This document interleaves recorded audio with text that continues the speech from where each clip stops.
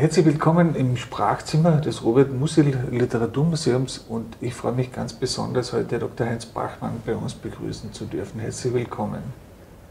Ja, äh, danke, das, das freut mich sehr, dass ich hier also äh, ein Gespräch führen kann. Das ist mir äh, eine Freude, dass ich wieder in Klagenfurt bin und, und das höre ich und hören wir natürlich gerne. Es ist ja Ihre Heimatstadt.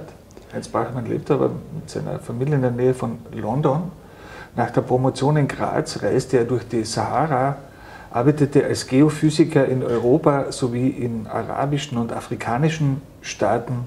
1971 heiratete er in England und seine Schwester Ingeborg reiste damals zur Hochzeit an.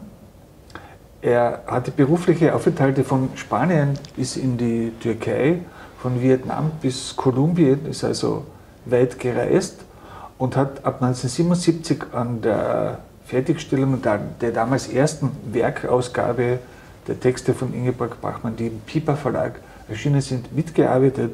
2015 unterzeichneten er und seine Schwester Isolde als Ingeborg Bachmanns Erben sowie die Universität Salzburg und die Verlage Surkamp und Piper. Das ist eine ganz besondere Konstellation, dass die zusammenarbeiten, aber auch äh, richtig so über die Edition des Werkes von Ingeborg Bachmann. 2016, anlässlich des 90. Geburtstages seiner Schwester, hat uns die große Freude gemacht, eine von ihm angefertigte Fotoserie aus dem Jahr 1962 erstmals unter dem Titel Ingeborg, wie ich sie in Rom sah, hier im Muselmuseum zu zeigen. Jetzt ist der Briefwechsel von Ingeborg Bachmann und Max Frisch erschienen und wahrscheinlich wird man manche Vorstellung von der Beziehung zwischen den beiden Schriftstellern, die von 1958 bis 1965 dauerte und wie das so schön heißt, mythenumrankt ist oder war, ja. nun wohl im Licht des veröffentlichten Briefwechsels vielleicht neu sehen. Herausgegeben wurde er von Hans Höller, Renate Langer, Thomas Stressle und Barbara Wiedemann. Äh, der hat es herausgebracht, das Buch heißt Wir haben es nicht gut gemacht. Erschienen ist es, wie gesagt, bei Surkamp und Biber und hat natürlich hohe Aufmerksamkeit äh, äh, bekommen, das kann man sich vorstellen. Die beiden großartigen Schauspieler und Schauspielerinnen, Caroline Peters und Roland Koch, haben am Anfang Dezember dieses Jahres 2022 im Akademietheater aus dem Band gelesen. Ähm, Ihre Schwester wollte ja eigentlich, dass die Korrespondenz mit Max Frisch nicht zugänglich sein würde. Nun wurden die Briefe aber mit ihrer Erlaubnis und mit der ihrer Schwester Ingeborg, äh, Isolde Moser doch veröffentlicht. Was hat Sie dazu bewogen, das Einverständnis zu geben? Ja, das ist ein, ein ziemlich komplexes Thema. Denn ähm, entweder man müsste im Einvernehmen mit den Briefschreibern das alles vernichten oder der Autor muss das, der Briefe muss das, äh, oder der Empfänger der Briefe muss es muss diese Briefe selber zerstören und vernichten. Ähm, das Problem äh, ist äh, wirklich sehr, sehr komplex. Wir haben ja damals vor 50 Jahren den, alle äh, Korrespondenz gesperrt auf 50 Jahre. Man hat uns damals äh, sogar äh, Vorwürfe gemacht, warum das gemacht wird. Ähm, man hat geglaubt, man, wir hätten etwas verheimlicht. Und, äh, aber es ging ja darum, die Privatsphäre der Schreiber zu mhm. bewahren. Es waren ja nur sehr wenige konzipierte Briefe, nicht abgeschickte Briefe meiner Schwester, aber der Großteil sind ja sind ja die Briefschreiber, musste man ja schützen. Und damals waren auch die Datenschutzgesetze nicht so strikte. Aus der heutigen Sicht ist das völlig anders. Aber jetzt ändert sich natürlich auch die, äh, die Situation, ähm, weil äh, diese 50 Jahre Sperre, die wir damals auferlegt haben, äh, dabei ist abzulaufen. Die wird also, ist also schon sehr bald.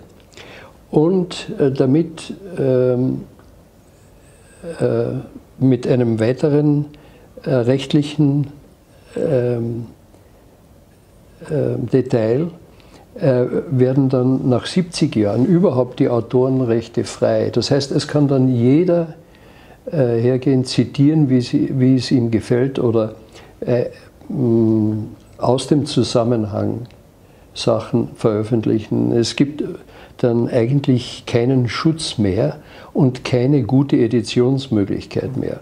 Und wir haben uns dann also entschlossen, dass, wir, äh, dass man das machen sollte, solange das noch möglich ist, dass eine äh, gute Edition gemacht wird von äh, Fachleuten äh, mit der nötigen Diskretion, denn man muss ja immer noch, äh, wenn Leute erwähnt werden, deren Privatsphäre muss man immer noch schützen. Aber abgesehen davon ist das ja, wird das ja alles in den nächsten Jahren äh, frei. Und äh, das hängt aber vom äh, Tod des Schreibers ab. Ja, das wäre also bei Frisch später als bei meiner Schwester wird das 2043 ähm, sein. Aber wenn man so eine Ausgabe machen möchte, dann muss das eigentlich jetzt geschehen. Oder man hätte sich irgendwie einigen müssen, das war äh, nicht abzusehen. Äh, Frisch hat sich hier geweigert, ähm, Ingeborgs Briefe an sie zurückzuschicken. Ähm, da bleibt einem eigentlich nichts anderes übrig, als einmal diesen Schritt zu machen. Und ich glaube, das ist ein guter Moment. Nach so vielen Jahren kann man das, ähm, sieht man das anders. Und das ist auch wichtig für die, um viele ähm, die Problematik des Schreibens für beide Schriftsteller und wie sie damit umgehen, um das zu sehen. Ja. Ja. Ich habe schon erwähnt, die, die Reaktionen waren natürlich äh, sehr stark auf mhm. diese Publikation. Haben Sie nachträglich das Gefühl, das war die richtige Entscheidung? Äh, ich würde sagen, ja. Ähm, es werden natürlich immer Fragen aufkommen, denn der, der, Briefwechsel ist ja sehr, sehr komplex und so unglaublich umfangreich. Meine, und ähm, da wird es sicher Interpretationen äh, geben, äh, wie man bestimmte Sachen äh, zu verstehen hat. Es gibt auch Lücken, äh, denn einige Briefe wurden äh, von meiner Schwester vernichtet, von Frisch wahrscheinlich nicht. Und ähm, das, äh, aber zumindest ist dann alles offengelegt. Ja, und äh, ich glaube, das war schon der richtige Schritt. In einem Gespräch mit dem Schweizer Radio hat die, die Germanistin Renate Langer, also eine der Herausgeberinnen, äh, gemeint, dass Ingeborg Bach mit, mit Ihnen und mit Isolde Moser die beiden stabilsten Beziehungen in ihrem Leben geführt habe. Würden Sie dem zustimmen? Also ich, äh, ich glaube ja, aber äh, man, das wäre vielleicht nicht ausschließlich die Beziehung zu meiner Schwester Isolde und zu mir, äh, sondern auch zu den Eltern. Da war ein wirklich sehr großes. Vertrauensverhältnis da. Und ähm, äh, also ich äh, habe das auch gesehen, das ist natürlich nicht bekannt. Äh, ich kann das erwähnen. Ähm, die Elternbriefe also die Briefe meiner Schwester an die Eltern sind unglaublich äh, offen, äh, sehr interessant und äh, sehr lebendig und äh, es wird fast alles, äh, ich glaube nicht, dass es da viele Geheimnisse gegeben hat, wenn irgendwelche äh, wirklich privaten Probleme hat sie mit Sicherheit mit unserer Mutter besprochen, vielleicht nicht mit dem Vater, auch nicht mit mir. Ja. Aber da war auf jeden Fall in der Familie ein, ein großes Vertrauensverhältnis. Und, äh, ja, ich glaube, das ist insofern auch ein, ein, wichtiger Punkt, weil das, das haben Sie ja auch schon, auch schon gesagt. Äh, also die Elternbriefe, die Beziehung zu den Eltern und damit auch die, die Beziehung zu Klagenfurt und zu dem Haus in der Heinzelstraße war doch intensiver, als man es äh, bisher vermutet hat, oder? Ja, auf jeden Fall. Ähm, man hat, wie der erste äh, Briefwechsel mit äh, Hans-Werner Henze veröffentlicht wurde, da haben die äh, Herausgeber gestaunt, wie viele Briefe nach Klagenfurt oder von Klagenfurt ausgeschrieben wurden und nach Klagenfurt gegangen sind und wie oft sie hier war. Und ähm, das war dann fast eine Offenbarung. Das ist jetzt natürlich durch alle anderen Briefwechsel äh, bestätigt worden, dass das also eine sehr wichtige Beziehung war und eine sehr positive. In einem Zeitungsinterview haben Sie gemeint, äh, es hätte kaum einen größeren Kontrast geben können in einer Beziehung wie den zwischen Ingeborg Bachmann mhm. und äh, Max Frisch. Ja, ähm, ich meine, es ist natürlich schwierig, äh, wie sieht ein Bruder äh, eine Beziehung seiner Schwester. Und, äh, aber äh, Ingeborg war immer in Gesellschaft eine sehr lebendige, fröhliche, äh, Anekdoten erzählende und hatte einen besonderen Anziehungspunkt für die, war ein besonderer Anziehungspunkt für die Leute. Und äh, ich habe Frisch nur ein paar Mal getroffen und ich fand ihn eher etwas trocken, belehrend, aber gut, ich war sehr jung, kann man sagen, ja, ist ein junger Bursch. Und, ähm, ähm, aber ich konnte mir nicht vorstellen, dass er das Leben einer Gesellschaft auf einer Party oder so gewesen wäre. Und ähm, das ist eine, eine so andere äh, Weise, sich zu verhalten und sich vielleicht auch darzustellen. Ähm, also da ist ein, schon ein deutlicher Kontrast und ich glaube, dass ich mich da nicht geehrt habe. Ich habe es natürlich nicht, nicht miterlebt, äh, aber aus der, aus der Autobiografie von, von Hans Werner Henze sozusagen da, da erscheint Ingeborg Bachmann wie, ja, wie eine Prinzessin, strahlend, der ja. Mittelpunkt einer Gesellschaft. Absolut. Und, und, und aus, aus diesen Texten äh, habe ich mir, ja, dieses Bild, äh, dieses Bild stelle ich mir vor und, und wäre gern dabei gewesen, wenn ich das so en passant sagen darf, äh, Henze und die Bachmann bei einer Premiere, ja, ja. einer Henze-Oper an der Mailänder Skala. Äh, diesen Moment hätte ich gerne miterlebt. Ja, ja. Nein, das ist wirklich. Äh, und, und das, äh, man, äh, viele Leute glauben ja, also Ingeborg Bachmann ist alles schwermütig und so, aber es ist sehr viel versteckter Humor auch im, im Werk. Oder wenn man die Szenen da im, unter Mördern und, und Ehren, äh, die Frauen, die äh, zu Hause sitzen, während die Männer sich da äh, zum Trinken versammeln. Äh, diese Szenen sind so bizarr und so äh, ja, auf eine traurige Art irrkomisch. Ja. Und äh, hat sich natürlich, die Gesellschaft hat sich sehr geändert seither. so ist es wohl nicht mehr, aber es ist eine, eine Darstellung, ähm, wo die Humor und äh, meiner Schwester sehr stark durchkommt. Und das, das war sehr eindeutig, auch immer im Familienkreis. Es war immer sehr, sehr lebendig. Ja. Und ähm, das konnte, wenn ich mir, äh, ich habe zum Beispiel die, die Briefe von Frisch an seine Mutter gelesen. Das kann man überhaupt nicht vergleichen, wenn ich da an die, unsere Briefe denke. Ähm, und ähm, Vielleicht ist es deswegen auch so, also in diesem, in diesem Gespräch für das äh, Schweizer Radio, das man im Internet äh. Nachhören kann, da, da, spricht die Moderatorin, wenn sie den Herrn Stressler anspricht von der Frisch-Seite und wenn sie die Frau Langer anspricht von der, von der Bachmann-Seite, was ich ganz, ganz interessant fand, aber es hat sich scheinbar gut gefügt. Weil sie mhm. Szenen ansprechen, ich bin auch schon gespannt auf diesen Film, der wahrscheinlich den sehr kurzen und knackigen Titel Bachmann und Frisch haben wird. Margarete von Trotter, äh, wahrscheinlich die bedeutendste Regisseurin Deutschlands, ja. äh, hat den Film äh, gedreht. Der ist vielleicht in der Postproduktion mhm. und äh, war hier sozusagen auch in, in Klagenfurt. Äh, vielleicht können Sie uns, das, das war die Idee, äh, einen Besuch Ingeborg Baum, also Max Frisch in Klagenfurt hier in Szene zu setzen. Haben Sie diesen Besuch noch in Erinnerung? Ja, ja, den, den habe ich noch sehr gut in Erinnerung.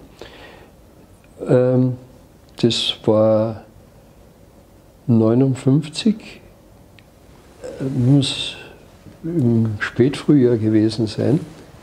Und ähm, Also ich kann mich irren über das Datum.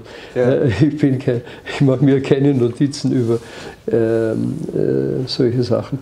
Und ähm, sie sind da mit einem kleinen Sportwagen äh, gekommen und ähm, unsere Mutter hat äh, so ein gutes Essen zubereitet und unser Vater, äh, der also Hauptschullehrer war und Hauptschuldirektor damals, äh, hat eine sehr schöne Rede gehalten, äh, um ihn willkommen zu heißen. Und das hat mich, äh, meinen Vater noch nie so reden gehört. Und der, der konnte das offensichtlich.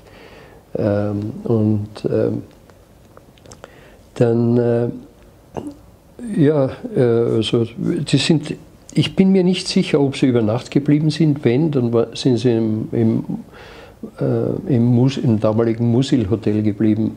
Aber ich bin mir dessen nicht sicher. Und äh, wir sind dann, äh, also nach einem gemütlichen Mittagessen und äh, der Willkommensrede meines Vaters, äh, sind wir dann nach Kötschach zu meiner Schwester Isolde gefahren und Franz, ihrem Mann, der damals noch gelebt hat. Und äh, also das war ein, ein äh, ja, sehr angenehmes Zusammensein. Ich bin, äh, wir sind dann, weil wir natürlich die ganze Familie gefahren ist, äh, dürfte ich mit Frisch mhm. äh, im Sportwagen fahren. War das ein Privileg, mit Frisch zu fahren? Ich weiß es nicht. Und äh, ja, sollte es wohl sein, ja. Und ähm, ähm, meine Schwester ist mit dem weißen Volkswagen äh, und den Eltern hinter uns hergefahren. Und äh, wir sind da bei der die Villacher Straße, die war damals noch ziemlich eng. Ich habe die Geschichte schon öfter erzählt. Ähm, setzt frisch an, ein, an, der engen Stelle zu einem Überholmanöver an. Und äh, mir sind da die Haare zu Berge gestanden. Das habe ich heute noch im, äh, äh, wirklich noch vor mir.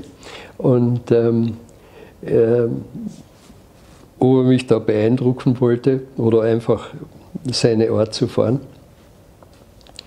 Äh, jedenfalls war ich, war ich nicht beeindruckt. Das war etwas gefährlich, dieses Überholmanöver. Aber wir sind dann gut in Kötschach-Mauten angekommen. ja, das ist gut zu wissen, dass dieses äh, Abenteuer mit Max Frisch gut ausgegangen ist. Äh, der Briefwechsel ist in den Buchhandlungen Ihres Vertrauens natürlich schon erhältlich. Was auch ganz wichtig ist, denke ich, dass bis zum 23. November 2023 im Österreichischen Literaturmuseum die Ausstellung Ingeborg Bachmann eine Hommage zu sehen ist. Die möchte ich Ihnen ebenfalls sehr ans Herz legen. Und abschließend, äh, wenn Sie mir erlauben, den Schweizer Kulturjournalisten und Frischbiografen Julian Schütt zu zitieren, der hat im St. Galler Tagblatt Folgendes gesagt. Also man möge das äh, sozusagen die, den Briefwechsel nicht unter der Perspektive, dass man ein Urteil über jemanden äh, fällen würde, lesen. Lesen wir die Briefe stattdessen als literarische Dokumente, die vor allem beweisen, dass Ingeborg Bachmann wie Max Frisch zur besten Literatur ihrer Zeit zu zählen sind. Ich glaube, das ist eine, das kann man als Maxime verwenden. Ja.